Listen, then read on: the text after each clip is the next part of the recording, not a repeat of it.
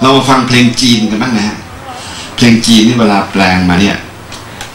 ไทยทำได้ดีกว่าจีนเยอะเลย มีหลายเพลงทีเดียวนะฮะสมุดพระมีของผมทั้งเล่มเนี่ยจดเพลงจีนเอาไว้มากมายเหลือจะกล่าวเลยนะฮะโดยเฉพาะอย่างยิ่งตอนหลังๆที่อรวีสัจจานนท์มาร้องจีนทั้งกระบี่เนี่ยนะฮะโอ้โหเยอะแยะมากเลยจินเทียนปูหุยเจีย วันนี้ฉันไม่กลับบ้าน หูกังร้องแล้วก็มาเปลี่ยนเป็นใครตะใครร้องต่างๆนาเนี่ยมันมีเพลงเอกอยู่เพลงหนึงฮะที่ร้องไว้โบราณมากทีเดียว แต่ว่าอ่าคนไทย คนไทยจำดัจำไม่ได้แล้วหาต้นฉบับเดิมไม่เจอเผอิญผมมีเพื่อนคนจีนอยู่คนเขาก็เอาต้นฉบับเดิมมาเปิดให้ฟังเดี๋ยวเราจะรู้ว่าต้นฉบับเดิมนี่มาแปลงเป็นไทยและชื่อเพลงอะไรนะฮะภาษาไทยว่าหหญิญิงงสาวชาวฮั่นกำลังออกเรือนแต่งงานครับขอหญิเชิงญสาวครับชาวฮั่นกำลัง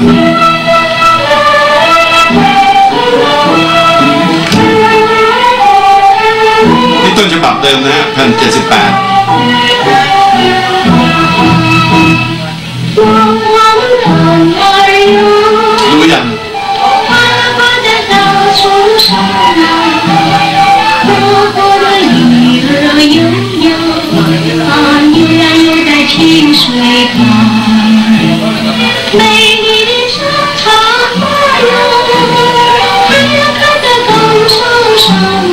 คือเป็นจีนนะ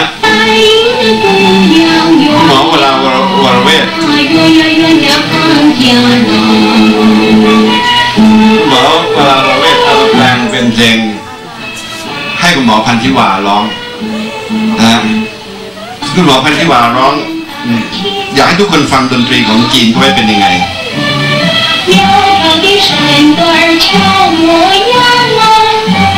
ก็เรียกว่าเสียงดีนะฮะดนตรีก็ พอใช้ได้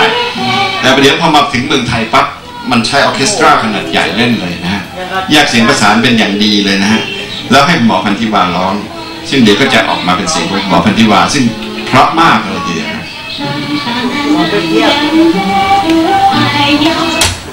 นิดหนึ่งครับ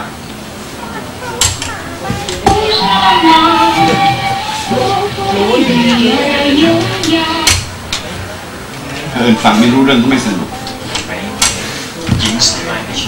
กำลังออกเรือนแต่งงานครับ ร้องโดยจื่อเหวยจือเหวยจือเหวยร้องนะฮะต้นฉบับคุณคุณเอ่อเศรษฐกรได้เสียงเพลงนี้มาจากแผ่นเสียงอะไรยังไงครับคือสำหรับที่ผมได้มานั้นอ่าก็มาจากรุ่นลองเพลงที่เป็นแผ่นก๊อปแสดงว่าเขาได้ก๊อปมาจากแผ่น78อีกทีแล้วใช่ไหมครับใช่ครับครับโอเคครับมาฟังต่อไปนี้เป็นเสียงของคุณหมอพันธิวาสินรัชทานันท์ในต้นฉบับเดิมที่ร้องเพลงเทพธิดาดอยที่ได้รางวัลครั บฟังดนตรีนะฮะแยกเสียงอร่อยมากเลย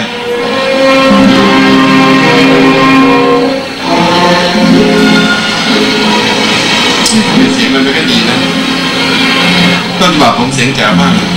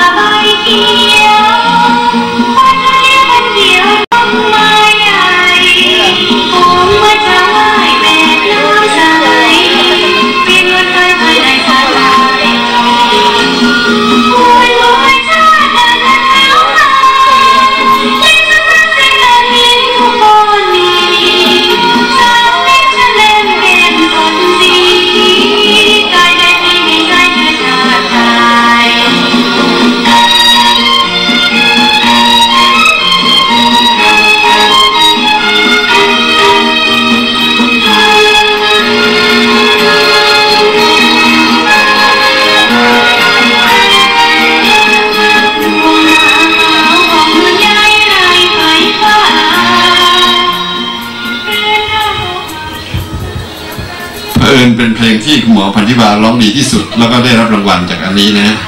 ดังไปเลยฮะพลุแตกไปเลย เพลงนี้ เดิมทีเดียวก็นั่งร้องเพลงเล่นๆอยู่ที่โรงพยาบาลรามาธิบดี เขียนการ์ตูนไปพลางนะ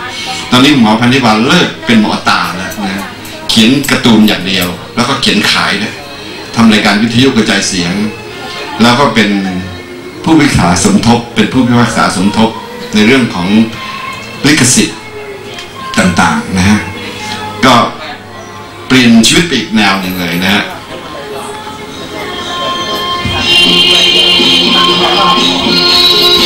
ดนตรีแยกเสียงประสานเพราะมากเลยนะแล้วต้นฉบับเดิมนี่เจ้าของมาฟังแล้วบอกโอ้โหยคนไทยนี่ทำเก่งมากเลยนะฮะเอาละฮะผมขอสรุปนิดหนึ่งว่า หนังสือสมุดเล่มนี้ ผมเก็บเอาไว้ทั้งหมดด้วยกันประมาณ 300 เพลง เขียนเป็นหนังสือได้เล่มหนึ่งเลยนะฮะ ก็ยากมากเลยฮะถ้าเกิดใครสักคนสักคนจะมาทำวิทยานิพนธ์เรื่องนี้เพราะว่ามันต้องอาศัยเสียง ข้อสำคัญที่สุดก็คือว่ามันต้องฟังด้วย ที่สำคัญที่สุดก็คือว่า มันมีเพลงทุกประเภทตั้งแต่คลาสสิกเพลงป๊อปเพลงพื้นบ้านอเมริกัน ที่ผม ทำเอาไว้แล้วยังไม่ได้เปิดให้ฟังเลยก็คือเพลงฟิลิปปินส์เพลง Burung Kakatua ของอินโดนีเซีย เพลงของพม่า แล้วเพลงไทยสากลที่ไทยใหญ่เอาไปร้องมันมันข้ามไปข้ามมาเนี่ยมากมายมหาศาลเลยนะครับ เพราะฉะนั้นมันเป็นเรื่องที่น่าสนใจสำหรับผู้ที่เรียนดนตรีมานานพอสมควรแล้ว แล้วฟังเพลงหลากหลายแล้วเนี่ยผมอยากจะแนะนำนักศึกษาว่าควรจะสนใจฟังเพลงให้หมดทุกประเภท ไม่ว่าจะเป็นไม่ใช่ว่าจะต้องฟังเฉพาะแต่เพลงไทยเดิม หรือฟังเฉพาะแต่เพลงป๊อปหรือฟังเพลงของเบิร์ดเพลงอย่างเดียวอะไรเงี้ยมันต้องฟังเพลงทุก ๆ ประเภทเลย จะได้รู้ว่ามีอะไรเปลี่ยนแปลงบ้างรวมทั้งเพลงต่างชาติด้วยนะฮะผมอาจจะอายุ 60 กว่าแล้วผมถึงฟังเพลงมามากกว่าทุกคน แล้วก็รวบรวมสิ่งเหล่านี้ขึ้นมาได้ แต่ผมบอกว่าในการที่จะเกิดมาเป็นคนที่เรียนดนตรี รักดนตรีเข้าใจดนตรีนั้นจำเป็นจะต้องฟังเพลงอย่างหลากหลาย แล้วเวลาฟังก็ต้อง ฟังทั้งบทร้องทั้งทำนอง ทั้งการแยกเสียงประสานและจังหวะ แล้วถ้าบทเพลงเดียวกันนั้นถูกเปลี่ยนแปลงไปเป็นลักษณะอย่างไรเนี่ยมันก็ให้ความบันเทิงในลักษณะแตกต่างกัน วันนี้ไม่ได้พูดอีกอีกอีกอย่างหนึ่ง คือเพลงที่ถูกแปลงมาเป็นเพลงสกปรกมีเยอะมากนะฮะนะฮะแล้วก็ผมเก็บเก็บเก็บเก็บเอาไว้จำนวนหนึ่งแต่ไม่กล้าเขียนไม่กล้าร้องให้ใครฟัง แต่ว่า เวลาคุยกันในในกลุ่มเพื่อนฝูงกินเหล้าเนี่ยเพลงสกปรกเหล่าเนี้ย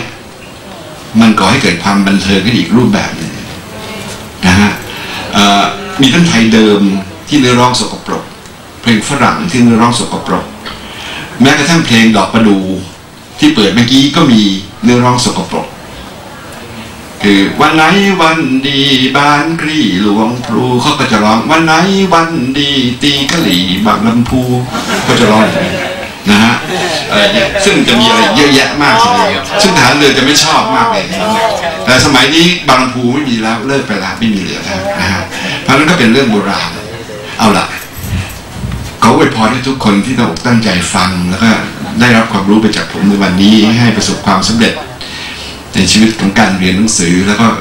ให้สนใจการฟังเพลงมากขึ้น แล้วขอให้มีหูที่สามารถจะจับรายละเอียดเพลงได้มากมากมากมากถึงจะสามารถเข้าใจเพลงในลักษณะที่ลึกซึ้งแล้วก็เกิดประโยชน์ขึ้นกับตัวเอง ทุกวันนี้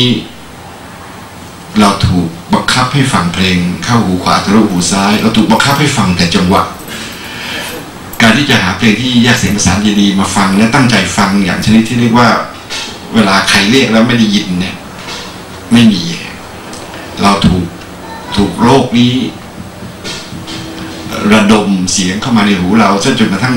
เราไม่มีโอกาสจะได้ฟังของดีๆก็ขอให้ทุกคนมีโอกาสได้ฟังสิ่งดีๆ วันนี้ก็ขอขอบคุณสถาบันใจภาษาบ้านเก่าของผมเรือนหลังนี้ผมสร้าง ผมมาควบคุมการก่อสร้างในตัวเอง แล้วก็ดีใจที่ได้กลับมานั่งที่นี่อีกครั้งหนึ่งในวันนี้ ก็ขอขอบพระคุณสถาบันใจภาษาท่านผู้บริการ แล้วก็อาจารย์ทุกคนรวมทั้งผู้ที่มาร่วมฟังในวันนี้ ขอให้เดินทางกลับบ้านโดยสวัสดิภาพทุกคนสวัสดีครับ